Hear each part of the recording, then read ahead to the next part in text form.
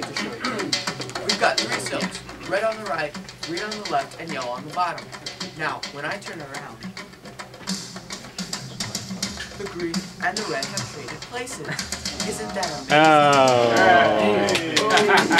now, I- I'll just turn around again just to show you guys in the back. Wow, the green and red have traded places. Mm. Now, I'll show you something else. Now the red and yellow. Ah. Oh. Right.